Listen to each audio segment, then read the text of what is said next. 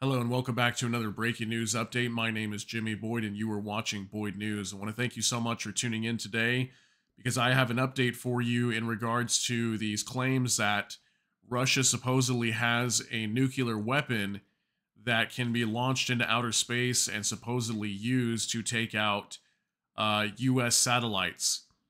Okay? And if you have no idea what's going on here, I put out a video uh, just less than a, a week ago, maybe three, four days ago and it was about a uh, U.S. congressman named Mike Turner. Okay, and he came out and he was warning the uh, Biden administration that there was some intelligence that needed that was urgently needed to be declassified by the pre- by uh, President Joe Biden, and uh, there was some information that supposedly Russia had a nuclear weapon that could be deployed in outer space, or they were planning to deploy it, and it could be used to knock out U.S. satellites. Now that's obviously a big deal because if if satellites got knocked out, you know, communications would be completely down, and it could completely blind the United States. Should Russia want to, you know, maybe go to war with NATO or something like that, it would basically knock uh, America in a way out of the fight because majority of of the military communications would be gone and they would not be they'd be blind they wouldn't be able to use gps or anything like that and it would be very difficult to fight a war without communications. So i have an update here that supposedly putin came out in an interview and uh, there's video footage of it online you can find. Uh, that's in russian obviously. But he came out and said that russia is categorically against nuclear weapons in space, and he's uh, denying the plans to deploy any of these nukes um, into space. Okay, so now obviously that that has two sides, you know, to every story kind of situation there, right? Because Russia uh, said uh, Vladimir Putin said that he wasn't going to go into Ukraine, and then they did. So it's hard to believe really any side here. You know, it's it's uh, you you don't really know if they're actually producing these nukes that can go into space and then you don't know if they actually do have them and then they are going to deploy them but they're stating that they're not to kind of uh, you know divert tension away from it but really they are planning on it. Who knows right? But i've got information here. Let's get into this. This is out of the bbc putin denies plans to deploy nuclear weapons in space. It says here russian uh, president vladimir putin has said that moscow is categorically against the deployment of nuclear weapons in space. His remarks came during a televised meeting with his defense minister, who also denied Russia had any plans.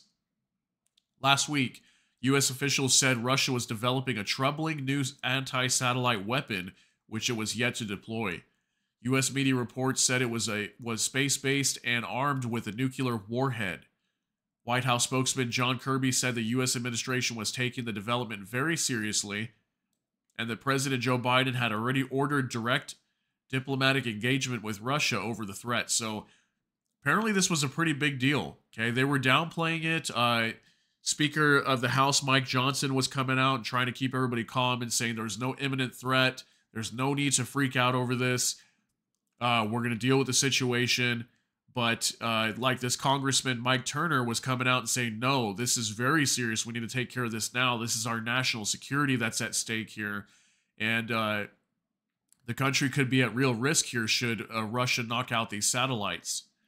So it says here Mr. Putin called for international agreements on space weaponry to be adhered to and said Russia had offered many times to, to work jointly to strengthen them.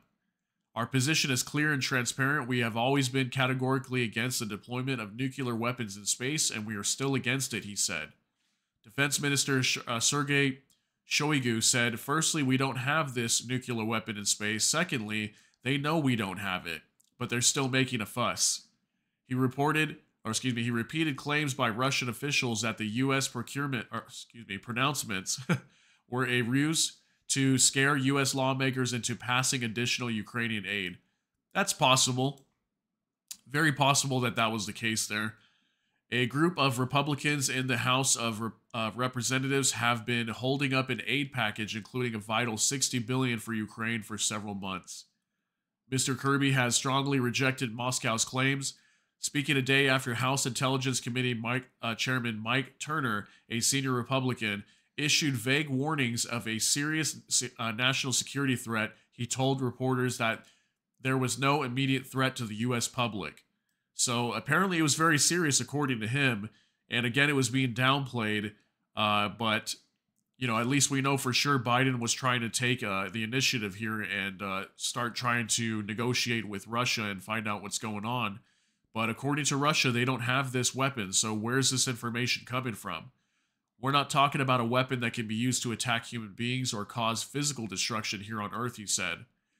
While space weapons sound uh, ripped from the pages of science fiction novels, military experts have warned that space is likely to be the next frontier of warfare in an increasing technology dependent world. They say Russia and China have been steadily developing military capabilities in, in space as they seek to catch up to the US. The three countries already have the capability to attack satellites around the world, but in theory, they cannot use nuclear weapons there. All three are uh, signatories of the Outer Space Treaty of 1967, which forbids countries from sending into orbit any objects carrying nuclear weapons or any other kinds of weapons of mass destruction. But experts say the treaty provides no guarantee of safety in the current geopolitical climate because of Russia's tendency to disregard its treaty obligations. Kind of reminds me of, of uh, when Russia, uh, Putin said he wasn't going to invade Ukraine, but then they did. Okay, they they obviously have a track record here, at least in the in the recent times, over the last few years, of saying they won't do something and then they actually do it. So I, I think that's kind of the argument here is that uh, Russia could still do something like this, even though they claim that, oh, we don't have this nuclear weapon and we don't have any plans to deploy it. This doesn't exist. The West knows we don't have it, just like Sergei Shoigu, the defense minister, saying. But it's very possible they could have it. Who knows? And I'm not saying they do. Um, obviously, that that information would have to come to light here, right?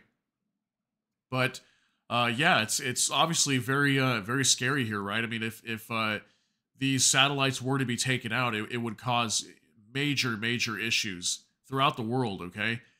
And uh, communications would be completely down. Nobody would be able to call each other. Uh, the military wouldn't be able to operate.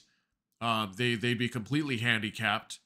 And uh, if any foreign uh, adversary wanted to uh, commit some sort of heinous act on the United States or whatever country it's trying to go after, that would be the, the way to do it. It's kind of like launching an EMP.